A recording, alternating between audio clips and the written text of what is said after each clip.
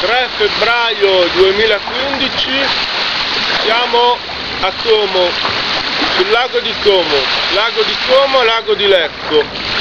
Gennaro Giannini, Alessandro Manzoni, i promessi sposi di Alessandro Manzoni. Un video che ripercorre i sentimenti benissimo. Allora qua il più bello sentimento, io non sono papà, ma ho preso in prestito questo foglio in cui c'è scritto ti voglio bene papino una cosa molto bella molto bello sentirselo dire certamente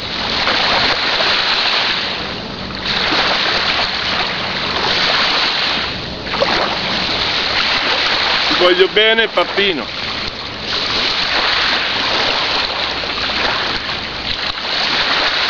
Preso in prestito. Anche questi sono i sentimenti. E di cosa parliamo oggi? Alessandro Manzoni, sentimenti, la grandine, quando Renzo, che poi si andrà a sposare con Lucia Mandella, promessi sposi, i due promessi sposi, esce da Lazzaretto, luogo di detenzione per la peste bubbonica che c'era, c'era la peste bubbonica, esce e trova la grandine, la grandine liberatoria.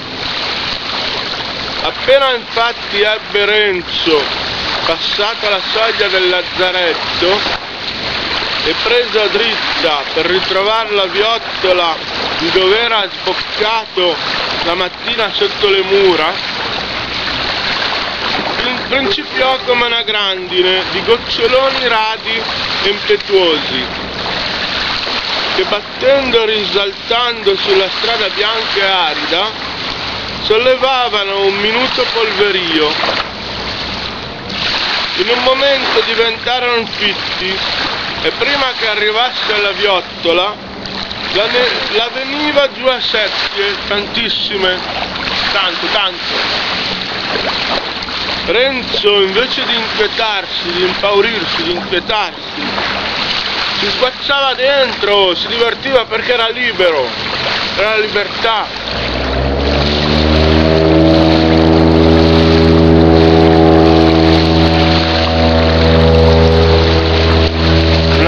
Che vola, anch'esso libero, prende...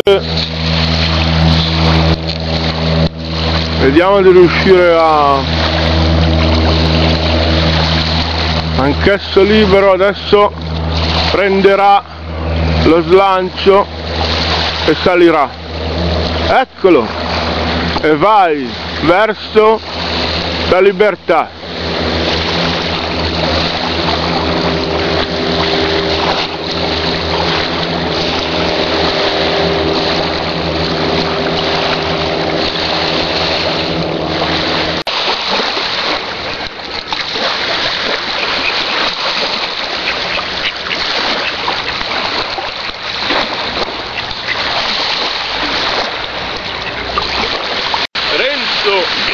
Invece di inquietarsi, non si inquietò, non, si, non aveva un timore, si sbacciava dentro, allegria, era allegro perché era uscito dal lazzaretto, l'allegria di essere usciti da un luogo di reclusione, il lazzaretto per la peste bubbonica.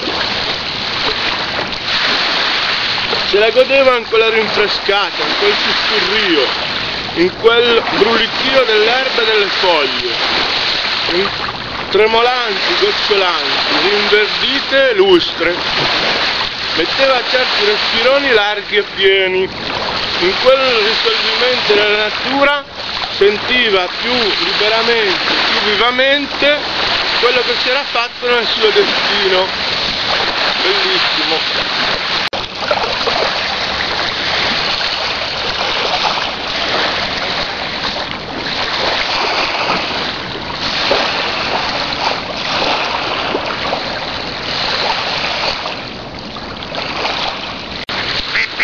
Ma e intero sarebbe stato questo sentimento. Se Renzo avesse potuto indovinare quel che si vide pochi giorni dopo che quell'acqua portava via il contagio che dopo quella il lazzaretto che non era per restituire ai viventi tutti i viventi che conteneva almeno non avrebbe più ingoiati da altri cioè lazzaretto si, si liberava degli appestati che non lo erano più.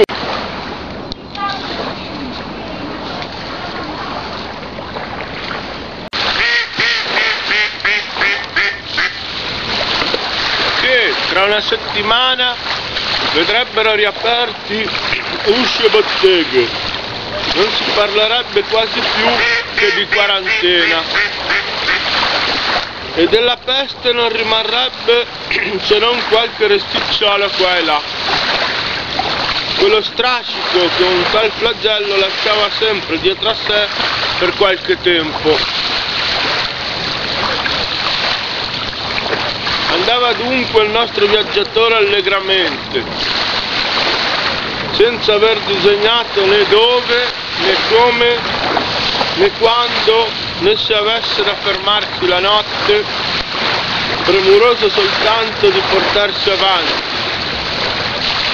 di arrivare presto al suo paese, di trovare con chi parlare, a chi raccontare soprattutto di poter presto rimettersi in, in cammino per Pasturo, in cerca d'Agnese.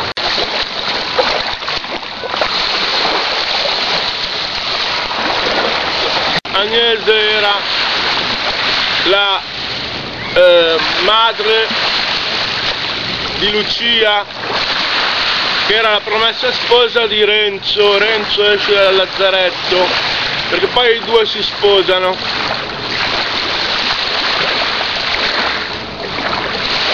Andava con la mente tutta sottosopra delle cose di quel giorno, certo, libero,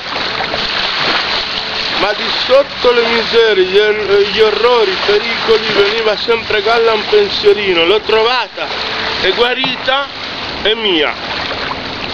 Io proprio già basta così, perché si capisce tutto, un grande sentimento, e andiamo adesso a vedere la parte turistica. Io spero che abbiate compreso questa parte così bella e adesso vediamo la parte turistica. Alessandro Manzoni, Como, 3 febbraio 2015, Gennaro Gelmini, in questo video di sentimento.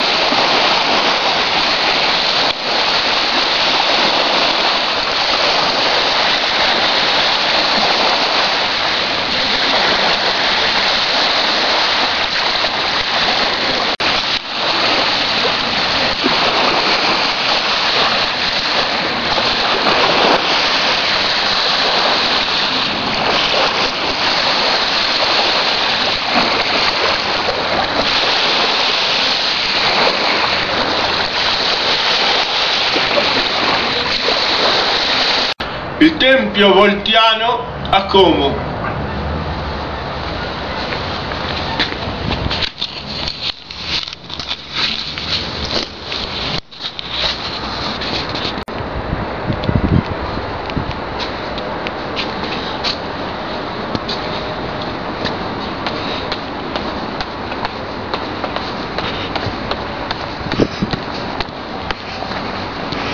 Lago di Como